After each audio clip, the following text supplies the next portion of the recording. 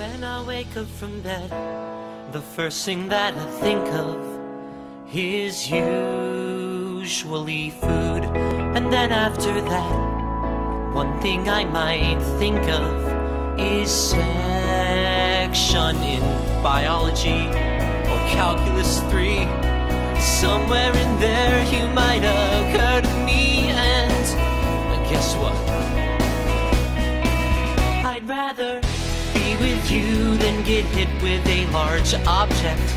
Be with you then lift something very heavy. I'd rather be with you than eat certain flavors of ice cream. But that depends on the flavors and the toppings and my level of hunger and certain other external factors. Also wrote you a little rap here. You did what?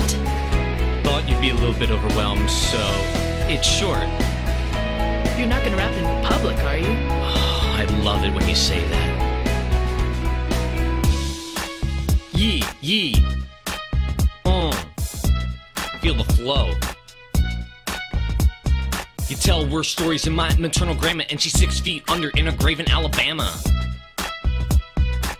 It's actually the whole thing. You know, it was short, but I think you could tell it was from the heart. I know your grandma. Doesn't she live in Armenia? Exactly. I'd rather be with you than get hit with a large object.